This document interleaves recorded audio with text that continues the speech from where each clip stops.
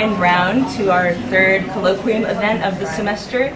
Um, Brian is a, a, an associate professor in science education at Stanford University, where he studies um, how language and identity impact urban students' learning. In 2007, he won the NARST Award for Outstanding Early Career Scholarship, having developed the disaggregate teaching approach to improve learning among underserved populations. And right now he's exploring conceptual continuities between students' formal and informal science learning experiences. And it's only because he has to rush off for another talk after this one that I'm going to cut this introduction short and welcome Bryan.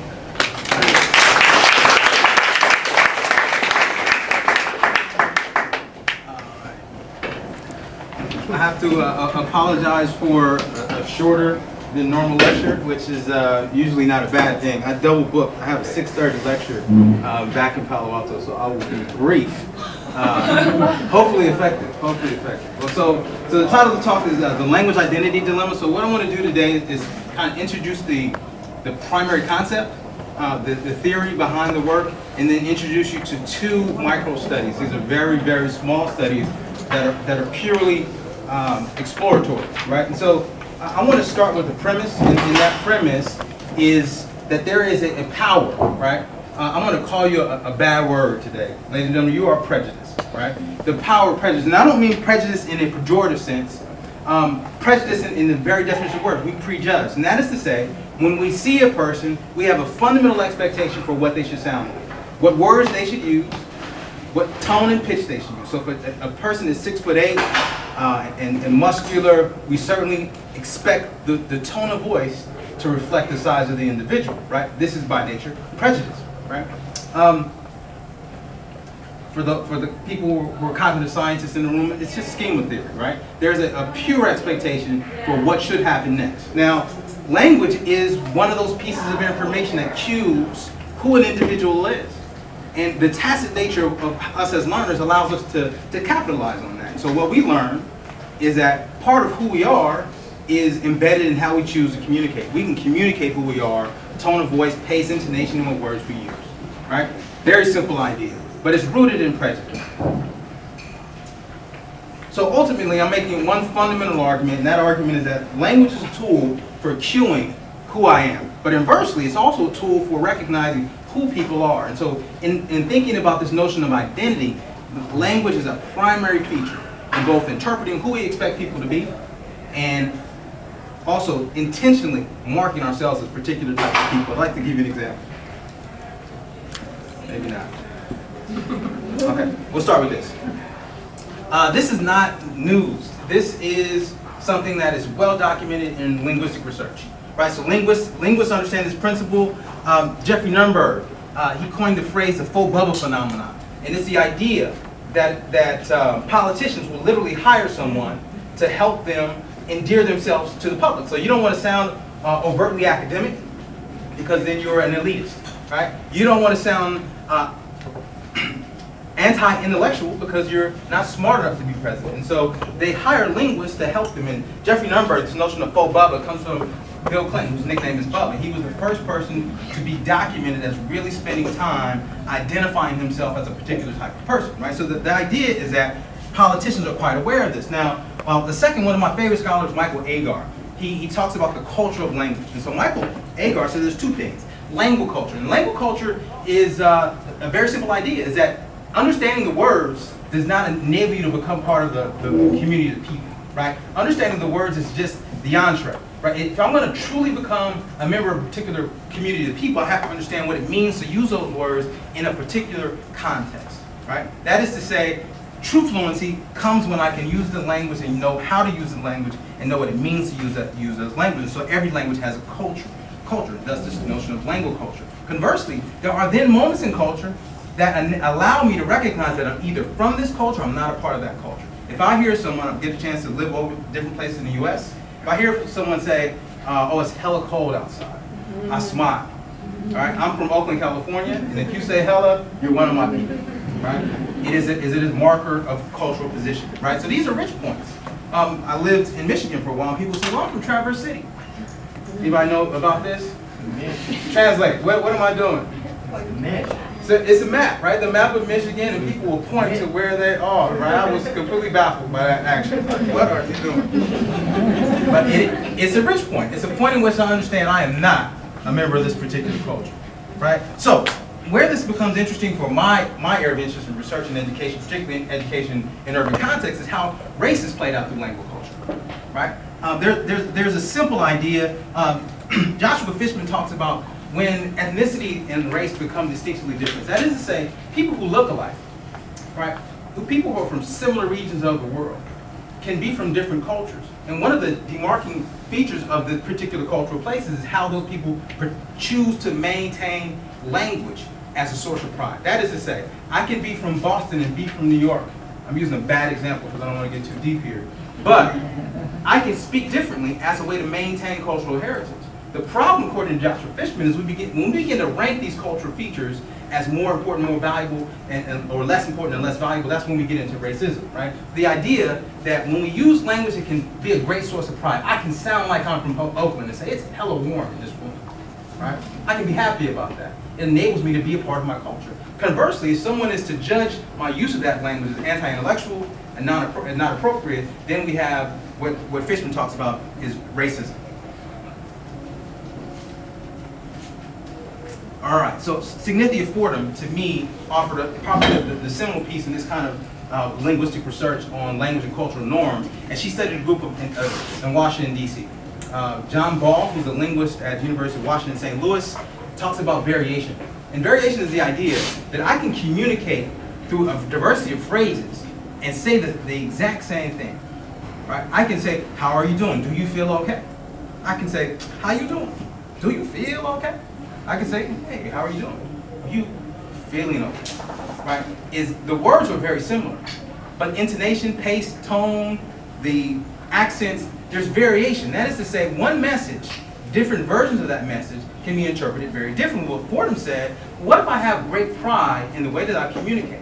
Then instead of using someone else's discourse in classrooms, which we ask students to do all the time, students have to learn to, to lease. I'm going to use it for a while, but I'm going to give it back. As soon as I leave the academic environment, I'm not going to speak in that particular way. She, she talked about this notion of fictive kinship, this idea that there's an imagined relationship among groups of people, particularly uh, black and brown students. That is to say that, well, all Mexican American people should sound this way. Or, or similarly, all African Americans should sound this way. And because of this notion of a fictive kinship, students are in the position of either sounding academic or sounding black. Right? There is this tension that she talks about. All right, so what does this mean for teaching and learning? Now, when I when I started my, my graduate career, uh, was I was a teacher in Long Beach. Um, I didn't really care about students feeling comfortable, honestly. Right? My concern was that students didn't want to participate in classroom classroom space because of the norms of the environment that I was establishing. Right? So the question for me is, what does it mean for teaching and learning? So I'm going to offer a, a couple of things. First thing is that language norms cue racial identity. I want to just offer that as, as a fundamental assumption. This whole presentation falls apart if we don't we don't agree on that. So I'm not going to ask you to agree. I'm just going to say, do me a favor and agree that this is where we're going to go for the next few minutes, right? Language norms cue racial identity. So you can hear a person and say, that does not sound like I, how I expect a particular person from a particular background to sound, right? All right, so the first six years of my career, I did nothing but social linguistic research to explore this idea and the ideas of discursive identities. How language cues our interpretation of both who people are and how people cue, tacitly or implicitly, who they want others to be is this notion of discursive identity, that we have an identity as communicators. So for example, I'm speaking rapidly because I have a 5.30 departure time, right? But I'm also trying to maintain an academic tone, right? I'm, I'm choosing to communicate in a way that will establish myself as a professor, right? I'm, hopefully I'm still professorial. I might dive in and out of that from time to time, but I'm intentionally communicating in a way that fits the genre. I think, right? The question is who controls the language norms of the classroom? We don't have a class that teaches teachers how to establish language norms in classrooms generally. Some progressive universities do, but it tends to be a tacit part of every academic environment. Maybe a unit on, uh, when I say a unit, one session on how we establish ways of communicating and talking in classrooms. All right, so why does this matter? a long way to go, short time to get there. Right, so science, in my particular areas, I was I was a science teacher, I studied science, is a critical rich point, right? Because science courses have, in some cases, more new words, um, more new words than foreign language courses. It's a study by Alberman in uh, 1989, basically says this, that there are new, more new science words in introductory level biology class than there were in an introductory level Spanish class. So just by the volume of language, right, alone, we're talking about a, a- an acquisition of a new language, right? Can teachers understand the genius of their students when language norms are different than their experience? Let me say this. We, when kids come to a room, do we, this is not a rhetorical question, do we expect them to know the information or do we not expect them to know the information? When they show up? We do not. We do not expect them to know. Teachers tend to play this game called Guess What's in My Head. They'll ask them an academic term, well, tell me about photosynthesis. And what they want to hear is a scientific, excuse me, is a response communicated in scientific discourse, right? My argument is that I would expect students to know a lot about photosynthesis, but not, perhaps not in the academic genre of science, right? Therefore, if we don't establish explicit language norms, what we're allowing language norms to do is make student content invisible and also create a pressure around the use of academic discourse. All right, so let me give you a quick example, and I want you to listen carefully to what he's saying. This is Tell me, can you can you do me a favor and tell me some of the things that plants need to grow? need the plants need need to grow for carbon dioxide. Carbon dioxide that humans breathe out and out and it goes to the it turns into the stomata that, that has a cell that has a green cells in inside the leaves. Okay, so, you said this carbon dioxide, and you also said something about the stomata. What what what is this stomata? Where is this the Stomata stomata is in the leaves that that the humans the humans breathe out inside and then it so the leaves help it grow to make glucose. glucose? Okay, and and where? How does the the plant take in the the air that humans breathe out? Carbon dioxide is important to the to the plant so help the plant grow up And, are- and are there any other things that the plant needs to grow? like uh, like ponds. Like like so a pond would that be a type of water? Yeah. No, it that will be the sunlight so to help it to help it grow. I know what the chlorophyll is. It's a it's a that heats up so we can make a food type of thing to make it grow like some vegetables, fruits. Okay. And and the chloroplast, where's the chloroplast located? Located to inside the leaves. If you see on a microscope, because I saw it, I saw in a microscope was the chlorophyll is inside, inside the leaves. Interesting, interesting. Okay. I- I'm, I'm showing this just to, to provide with some evidence of the complexity of the science language learning that this young man has to do. Right? You can hear it in his accent. He is also a second language learner. Right? The bolded terms, these are academic terms, new content terms that he needs to know. Carbon dioxide, which he says twice. The green cells is a reference to chloroplast, which he doesn't produce the academic term for, but he seems to have some understanding of. Right? He also uses the term stomata, uses it accurately. Carbon dioxide, uses it accurately. Right? Also chlorophyll, chloroplast, he then comes back and uses it later after it was used by the researcher, I believe. Now, what's interesting to me is that this learning experience, learning this level of academic discourse, is embedded in every fifth grade. This is actually a fifth grade lesson in a local East Bay classroom. Every fifth grade student has to engage in this level of language. Two things I want to offer. First, classroom management in urban schools is get the kids to sit down and be quiet, which will fundamentally prevent anyone from learning a new language. Imagine going to your French class and the teacher says, sit and listen. I'll talk to you about French. The one thing you learn is that the teacher knows a lot of French, right? Until people are able to communicate themselves in the language that we're required them to learn, how will they ever learn? Well, simple point here. The learning, academic language learning in science is a dense endeavor, right? Also not news to science educators, right? So the, the learning, learning the language science is a central component, component of learning science. I have two fundamental principles. The first is that it is not a neutral medium. So I have kids who live at a university whose father is a science education professor. It's probably a lot easier for them to use academic discourse because of the culture that they experience. They've heard me give this talk, right? So would that be the same for a kid in a local community where his identity, his linguistic identity is connected to how he sounds or how she sounds, right? It's not a neutral endeavor. Right? Language learning by process is multimodal, so I'm going to talk about that quickly. So here's what I mean by multimodal. One, we have to learn new words. Right? Two, we have to learn new symbol systems. Right? Now, for, for many, I usually on the whiteboard write this the symbol triangle T. Anybody know what the symbol triangle T is? What is it? Let me hear it. Change the temperature. We're so thoroughly brainwashed that most of us see a triangle and a T, we go, oh, that's to change the temperature, right? Delta Tau could be a no, no, could be a sorority or fraternity, right? But we, in scientific paradigms, see it fundamentally as change in temperature, right? So we do learn these new symbol systems, alternative meanings for vernacular terms. My mom forced me to eat vegetables last night. Has nothing to do with math nor acceleration, but she forced me to eat vegetables, right?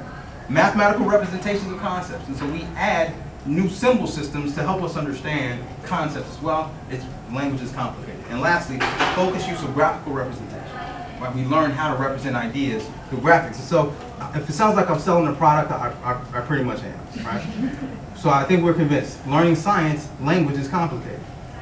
So the question is, how do teachers do it? I'm sure teachers are aware of this, right? It's not news to teachers. So what do teachers do to help students learn the language of science? Now, I am completely setting up a straw man, right? I, am, I, I, I certainly understand that not all teachers do the same thing, but these are some things that I see. Word walls, right? One of the things that just hurts me to, the, to, to, to my soul, right? Because having the words on the wall is how we acquire new language, right? You're in Spanish class, imagine the words are just on the wall. That doesn't help you learn right? There's one simple thing. If I, if I speak the language, I'll know them, right? So word walls is one of the things that we use. Fill in the blanks, fill in the blank sentences. Word searches, right? Uh, introduction of root words and prefixes, especially in high school settings where teachers with great intention to help students understand, they want to teach students how to understand the roots and, and suffixes. So if it ends in ace, it is an enzyme, right? Now these are interesting, but what they fundamentally fail to do is put kids in a position where they can acquire a new language. Right, so this presents a few problems. The first is, new language, languages are not learned, they are acquired. Foreign language teachers understand this. We understand this. We want to learn a new language. We go immerse ourselves in a community where we're required to use a language. If we go back to my, my statement around classroom management, classroom management does the inverse of this in general, particularly in urban settings, is we say to the kids, sit down and be quiet, which prevents you from gaining and mastering academic discourse, right? Those who speak the language are those who will become fluent. Therefore, in order to put kids in situations, we need to put them in situations where, where, they're required to make an explanation, and they're also required to make that explanation in science discourse. Right? this is the University of, of Jean Lave, right? Situated language learning is customary.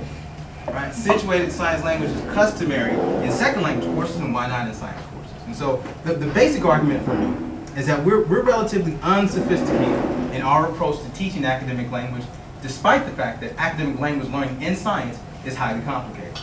And last but not least, without a specific and informed academic language learning approach, how do students learn and feel about academic, about learning in science, right? So two things here. How do they learn if we don't have an, an, an academic language approach that matches what we know about academic language learning? And conversely, how do students feel about having to adopt this complex academic discourse? And so that brings me to theoretical frameworks. Very simple. The language learning, the language identity learning dilemma, which is has two fundamental components. The first is there's a cognitive component. That is to say, the words that we use help people understand phenomena.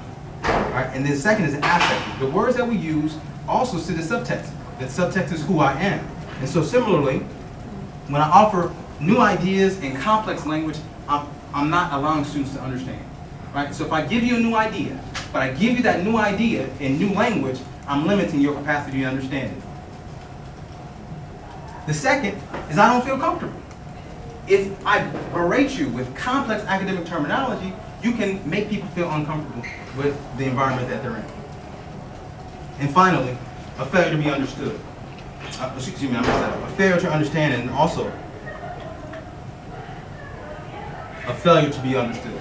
if teachers then expect students to communicate in academic language, right, then they won't hear the brilliance that's in, in students' communication, right? The idea that I would come to an environment where I'm supposed to learn something and use the language of that environment is, is antithetical to the way that we understand things. So if I'm talking about engines at home and I learn a little bit of physics from talking about engines, then I'm going to communicate in the language of home because that's the language that, I learned it in. And so I wouldn't show up to the classroom communicating in academic language, right? However, our teachers, our teachers prepared to hear students' communications in, in complex science language or everyday language. All right, so the last bit, and then we're going we're going to go on to some studies, is language and conceptualization are connected. So the, the idea is when I offer an idea, the whole point of me offering an idea is so that you will understand. Right? I select words, and the words that I select are selected so that you will understand.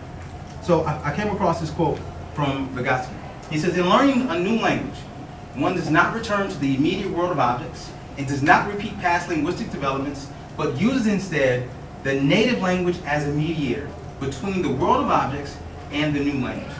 Right? That is to say, they return to the native language as a fundamental translation device. And so if I offer you a new idea, but I offer it to you in language that you don't understand, I have not provided you with that fundamental mediating device. If I want you to understand, I should introduce it in a language that you surely will understand, and then add the language so that you can mediate between the two.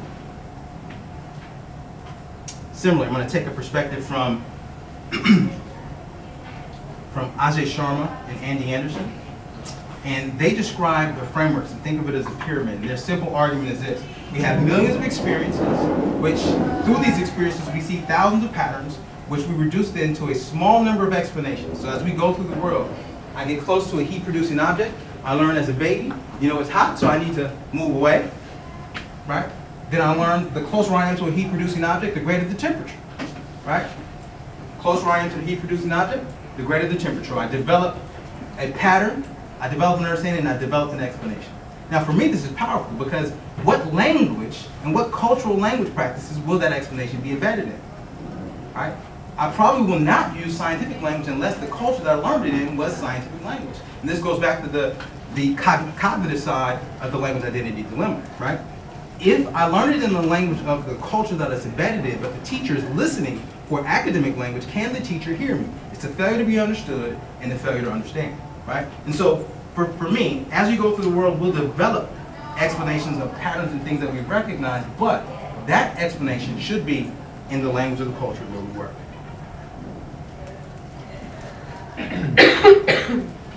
okay, so using using these principles, instruction should accomplish two primary tasks. First thing is I, I'm of the opinion that we should provide students with initial intuitive language to serve as a media. Now, this is poorly typed. We shouldn't provide students with initial language. We should identify through pre-assessment what language resources that they have, and then teach them the fundamental ideas best we can in fundamental everyday language, and then explicitly teach them science language. Right? Now, because language is situated, language learning is situated according to second language learning teachers like Lindy S. Roscoe, then we need to situate language learning in meaningful context. That is to say, I need them to explain the phenomenon and ask them to use the language of instruction, or excuse me, the, the academic language as they explain the phenomenon. And by situating language learning, requiring them to make an explanation, I can create an authentic opportunity for them to become language masters. There's a theoretical framework. We're done. So I'm just going to introduce you to some very brief studies and, and, and have time to talk. And so um, I'm going to start with a very simple research question. Right? So how does the use of what we're calling disaggregate instruction compare with a more aggregate alternative? And so what I mean by disaggregate instruction is separating instruction from conceptual component and the linguistic component. Instead of doing both simultaneously, let's go back to this Vygotskian, uh, let's go back to this, uh, this notion of offering them a mediation device. I'm going to start with everyday language first so I'm sure that they understand, and then once they understand, I'll teach them explicitly the science languages. So uh, a couple of years ago, we did this quasi-experimental study where we did a very simple pre and post test design. So we had an experimental group, a control group. Um, very simple. One group was taught using everyday science language. The other group was taught using explicit science language. So let me kind of explain what that looks like. Um, before I move on, just so that uh, the first time I did it, did, did it with uh, one of your former uh, postdocs, Keon Ryu, where we set up a computer environment and then we we created two versions of the software. The only condition we changed was the language use of that software, um, which is which worked phenomenally well. I, I was concerned it didn't translate to teachers, right? Where the rubber meets the road is when teachers teach using a particular method, and so um, that's when you go into the rabbit hole, right? There's a reason why we don't do teacher studies very often, right? Because you have to have the teacher teacher fidelity is a huge issue, and so what you're seeing is just a pilot study. So I want to talk to you about things we did to try to manage for teacher fidelity. First is scripted lessons, right? We wanted to make sure that we can keep all things equal as much as we could. So we had two different lessons with, with the exact same kind of things, right? So scripted lessons, we made sure teachers were using the same type of language. Equal time on task, very explicit agendas to make sure that teachers were teaching according to the time frameworks, equitable materials. Every, every set of materials had to be the same, and then identical instructional activities. So let me give you kind of a look at what that would look like. So for example, um, parallel text types. You see this is a chemistry, high school chemistry lesson done in East Palo Alto, where one group got a reading about valence, the other group got a reading about the outer layer of electrons. One group got something about the octet rule, the other one got the rule of eight and the rule of two. Right? The other group got electronegativity. The other group got the power to pull electrons. And so just offering as best we could everyday alternatives to science ideas. Another example, um, we, we're asking them also, because we're trying to situate language, right? Give them opportunities to explain. Well, in the control group, we gave them only science explanations. So after you read, write the explanation to valence, right? The other group, after you read this, write the explanation to the outer layer of electrons. And so we started with science language and ended with each group using science language. So the, the is, is very, very small. So two teachers in this work. The first is Mr. Song, second is Mr. Anderson. We had them alternate their teaching methods. Now, there was a, this, I'll probably never publish this paper because half of the teachers quit uh, before we could finish the, the process. Right, so we only got, of the entire sample, we had eight teachers teaching, we only had two finish both, both sets of data, which is, which is the reality of doing inner city teaching research. I wouldn't recommend it. All right, so simple numbers. So pretest, so we, we to, to, to provide uh, an oriented pretest measure, we gave them uh, an assessment. I forgot to tell you about the assessment. So I take I took free release NAEP items. So NAEP, NAEP provides you online with uh, assessment items that you can use we use on past NAEP tests. And so we use these pre-release NAEP, NAEP items, give them pre and post versions so that we can see gain so, for example, the means of 15.71 for the control group, uh, treatment group 15.00, so you can see that in the pretest, the control group scored better. Uh, Post-test, 29.92 was the mean score versus 34.14 for the treatment condition. Gain, so the percent gain for both groups, 18.94 for the control group and 25.52 for the experimental group. We also did something called a normalized gain, which I'll explain, but these were statistically significant. I was very, very excited about this until I found out that uh, I didn't have all the data because not all the teachers did the pre and the post, right? So for me, this is the third experiment that we run of this kind, documenting that students learn better when being taught with everyday language. Right? So I want to explain gain. So let's say I score 80 on the first test. I'm going to have 20, 20% to improve on the post test, right? another student scores 40. They have 60% to improve. And so to account for the amount of gain which is possible, we use a measure called uh, called normalized gain. And so it's just the, the post-test measure minus the pre-test minus the difference between what you're capable of, of changing, right? So it gives us a more authentic measure of how much gain is possible. And so comparing those measures, again, the, the on the left is the control group. The, the smaller number is the regular gain percentage or gain means and the bigger one is the the uh, the normalized gain. And so what, what we see here is in the control group, the difference is uh, 6.58 points, meaning that if you if you account for the normalized gain, you'll see 6% improvement, right? Versus another 8% for the experimental group. And so what we're seeing is that consistently, I've done this this is three, three experiments I've done over the last seven years of my career, is content learning is, is improved each and every time. So the next question for me was, is there an a- affective domain? Right? Can I document how students feel about the language? And for me, uh, mind you, I started as a social linguist. I'm still a social linguist, believe it or not. I end up doing classroom experiments. I'm not quite sure how I, how I got here. And I will go back to social linguistic research as soon as my questions come back that direction. But I was concerned about how could I measure how students feel? So just so happened my next door neighbor is a psychologist, my, my suite mate. So I asked him, well, what can we do? So we decided to, to focus on working memory capacity. Right? Simple, right? The reason why we don't remember phone numbers, you remember you used to, if I could say, hey, what's Bob's phone number? You can say, oh, it's 510-638-4675, right? Is we don't do that anymore because the cell phones have destroyed our need to store that information, right? That it, when, if you don't punch that number in, right, you won't remember it. And so we, since we never punch numbers anymore, right, our, our working memory capacity has allowed us to forget those phone numbers. And so we really only retain very little. Now, under stress, what we know is working memory capacity is limited. So there are a couple of tests I'd like to show you. The first is the Stroop test, which you've seen, which is a, a test of working memory capacity, right? So if the word red is written in blue, you mark the B button. But if it, the word red is written in red, you mark the R button, right? Similarly, the flanker test. These are both psychological measures developed in the 70s. So if I offer a flanker test, you need to identify the arrow in the middle. The direction that is pointing is the direction that you push on your keyboard, right? Here's an alternative. No, this one is going the opposite direction. Now, again, this is a, it's, a, it's a measure of working memory capacity. There's two types of measures. There's a congruent measure and an incongruent measure. So here's what a congruent measure is. Congruent measure is when the when they match. So when red is written in red, it's congruent.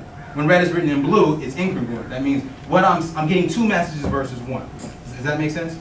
Which which is to say, it's more cognitively challenging to recognize them when they're incongruent. Similarly, when all the arrows are going in one direction, it is congruent versus when one is pointed in another direction, it is incongruent, right? So, take a look at these numbers. So this summer, I had a group of 70 kids. I set up computer computer simulations. I recorded a video. The video had the images were exactly the same, time on task exactly the same. The only difference was whether or not the explanation was in everyday language or in science language. So, control, Stroop congruent. So when they're recognizing the colors, we'll see that the control group, these are percentage, oh, excuse me, no, this is, uh, this, this is uh, milliseconds, right? The milliseconds response, you'll see that 90, 94.7 versus 94.1 is that the control group is just a bit slower. Milliseconds for, and that's incongruent, for, this is for congruent. Uh, 1,193, I, I believe this is an error though, I think those are percentages. Uh, 1193.04 for the for the Stroop congruent versus 11.03 for the experimental group, right? So the experimental condition just slightly faster. Percentage. What I want you to really note, 93.5% versus 93.4 is there's really no difference in percentage of accuracy. So this is how accurate are they? So both groups are accurate about the same, but what's different is the time that it takes the groups to actually engage in this task. You take a look at cell D here, 95.46% correct versus 96.6, so experimental group slightly is correct, but again, these, these the differences in accuracy are very small. Uh, mean group, so again, this is when the flanker test, when the arrow congruent is pointed the same direction, 900, 974.55 milliseconds versus 650.27 milliseconds, what we're seeing is that the experimental group is quite a bit faster in recognizing and again, when it's incongruent, the cognitive task is more difficult. And the last one is the flanker incongruent. Uh, here's a better way to represent, similarly, this was our biggest difference and was statistically significant. I'll show you the p-values in a second. But again, when the flanker arrows were pointed the opposite directions, we had our biggest difference uh, uh, across groups. And here's a better representation, right? So the control group is offered the science discourse experimental group. And what, what was really most profound to us is that in this particular condition, when they're engaged in recognizing the arrow direction, that the complication of that task was much more significant for those in our control group. It was much more difficult when they got academic language. So for us, simple message, across all measures, when asked to engage in this cognitive task, right, students' ability and speed in which they did it was slowed down for every particular task.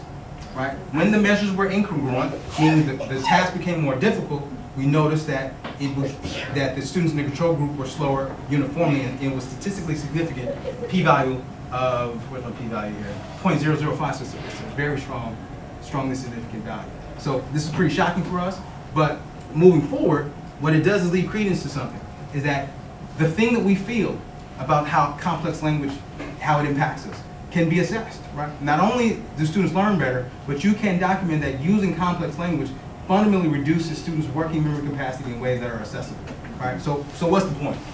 So for me, disaggregating instruction and thinking about how language can be used better, how we can explicitly teach the language of science is a critical part of student learning. But more importantly, that we can then also document that students are feeling a particular way. There is an affective domain to academic discourse that has to be assessed, right? So I'm looking forward to, to continue this line of work and set up several iterations of this work. We- We've now developed iPad software to bring this into digital textbooks to see, as we move towards digital textbooks, are we using what we know about how language impacts student learning and their sense of self to produce better student learning in the digital domain as well. All right, thank you for your time.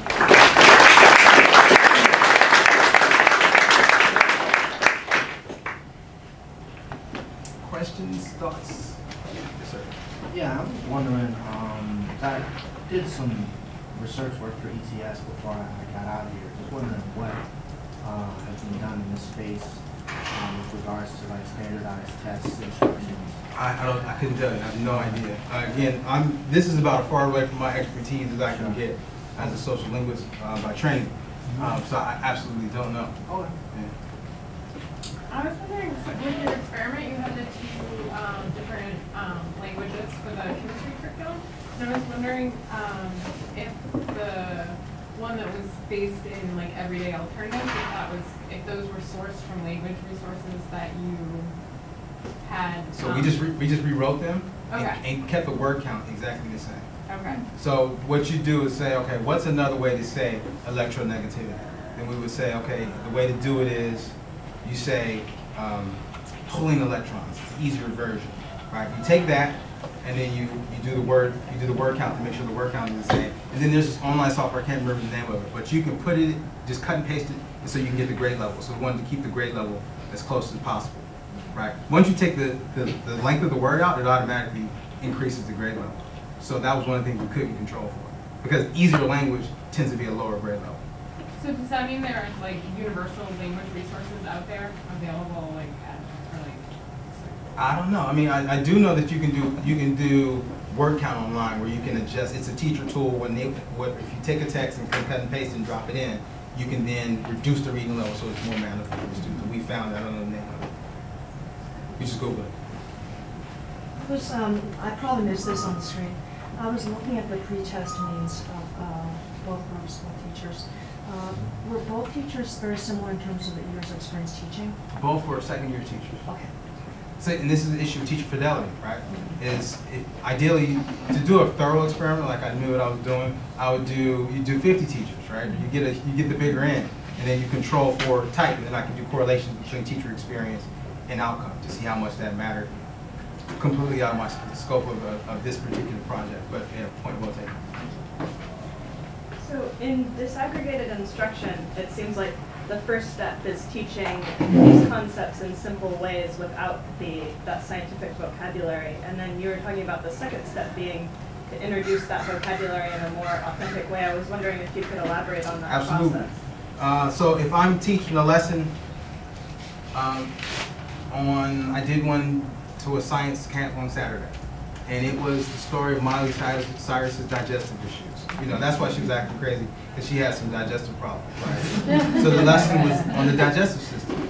And so they had to do two things. They needed to write a letter and explain how each part of the digestive system could have potentially failed her. What, what could have been the problem? And they had to use words like esophagus. They had to use words like digestive system, chyme, small intestine, large intestine. But here was, the key. They knew the idea first, and then we taught them what the word was. It's just an alternative for the word.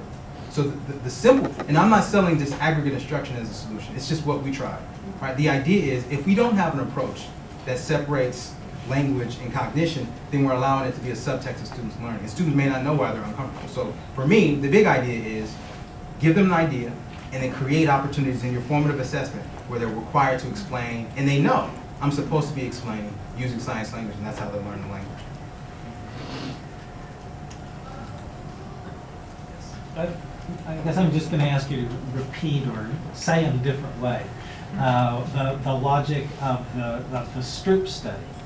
Um, Yes. You said something about, something about working memory, you also said something about um, uh, engagement or, uh, so, um,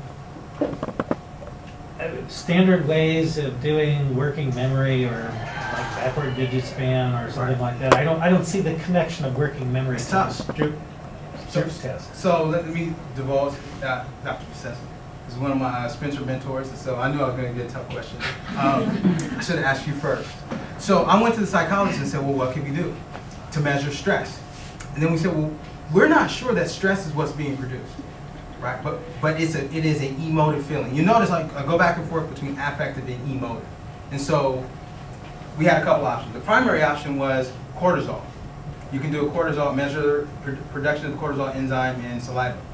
Cost effectiveness, not not so great, right? So what we know about both the Stroop and the flank measure is any any entrance of stress or distraction limits your capacity to engage in this task because it's, it's it, the fundamental text, excuse me, the fundamental assumption of this particular test is that it's based on working memory capacity. So if you can stress a person, you will reduce this working memory capacity. So I cannot claim that we stressed them. I can claim that all things were exactly the same except for the language use. So the language use has an implication on working memory capacity. And so I'm trying to figure out how to phrase that. So there is an emotive impact of some sort. And I have to use very, very soft language because I'm not sure if it's, I can't say it's stress. Right?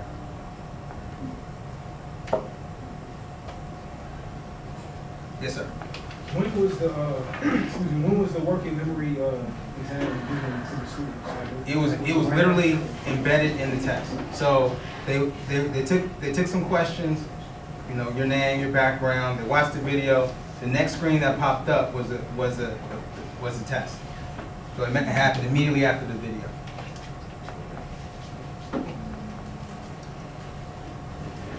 Other questions? Bryan, this is so fascinating, and I remember Kelly telling me about um, the early work. Um, And I guess I'm curious, um, from a, from the standpoint of sort of building new uh, instructional materials that are going to be used widely, what are some of the recommendations that you would give to designers? I love that question. From you, I love that question. so I'm excited about this. Um, I'm imagining what what, and this is what this is a study we want to do. If if the face matters of the person communicating, right? If the tone of voice matters of the person communicating, I think the next set of studies I'd like to see is in the digital space. And so we're we're working with uh, iPads right now. I'd like to alter the voice of the people we're speaking. Um, so just for example, if the student, I can record students using the, the voices of the community, making an explanation. And I'm curious how that would impact the student's understanding of the concept and any affective domain response, right? So mm-hmm. for example, we, if you look at a lot of cartoon characters, I have a graduate student now looking at cartoon representations in digital media. And what he found is all the, the, the majority of the, the criterion and characteristics are white European characteristics. And so green eyes, blonde hair, things of that nature. So the question is, could we alter the representation by voice, by language practices to produce greater learning outcomes? And so again, I'm less concerned about people, how people feel and more concerned about how they learn. And so for me, I would argue is if language learning is critical, I'd like to see embedded formative assessment where we require students to use the language in the digital realm to produce learning, right? And secondly, I like to see images that give them a, a sense of comfort, and so that the immediate images that they see are ones that reflect them. I'd like to see them even build their own meme in some way, right? Build their own icon, and that icon speaks back. And so, um, I think we're so early on in this particular digital media age that we don't know the impact of those. And so I'd like to see that studied and implemented.